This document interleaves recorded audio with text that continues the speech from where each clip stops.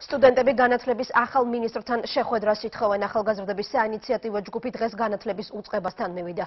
ვეტერანების შვილებისთვის უფასო განათლება გასხოვებული აზრის დევნა და დიპლომების აღიარება. ეს არის იმ პრობლემების ჩამონათვალი რომლებზეც საუბარსაც დღეს სტუდენტები ახლად დანიშნულ ხატია დეკანოიძესთან აპირებდნენ თუმცა შეხვედრა არ შედგა. ახალგაზრდები ამბობენ რომ მინისტრი დღეს სამსახურში არ იმყოფებოდა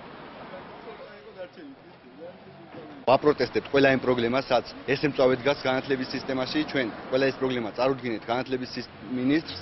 ატუკვე ყოფილს. მან არ გაითვალისწინა და არ მოაგვარა არც ერთი ჩვენს მიერ წარდგენილი პრობლემა ჩვენ მოვითხოვთ რომ შეგხვდეს ახალი მინისტრი ხალბატონი ხატია დეკანოიძე.